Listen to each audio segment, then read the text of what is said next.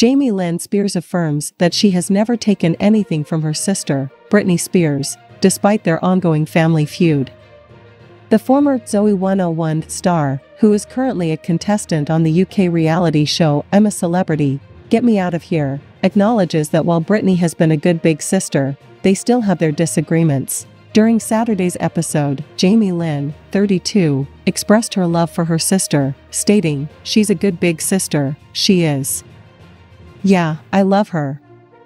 She also admitted that they have had public arguments in the past, but have learned to keep their issues private.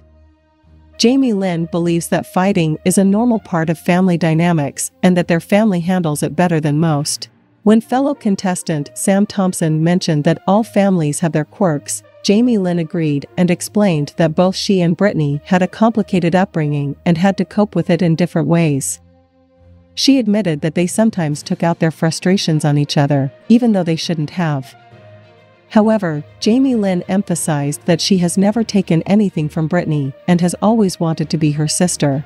Jamie Lynn acknowledged that their lives have been strange and difficult to explain to others, but she remains committed to her family and loves them unconditionally. She also discussed her relationship with Britney's sons, Sean Preston and Jayden James, whom she shares with her ex-husband Kevin Federline. Jamie Lynn described the boys as precious and adorable, stating that they couldn't be better. When asked if she thinks Britney is watching her on the show, Jamie Lynn admitted that she believes her sister would be concerned about her.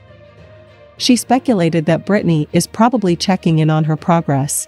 The actress from Sweet Magnolias shared that she had a conversation with Britney about her involvement in the show before heading to Australia. Jamie Lynn recalled how Britney asked her if she was really going to do it, to which she replied that she would go to Australia and check it out.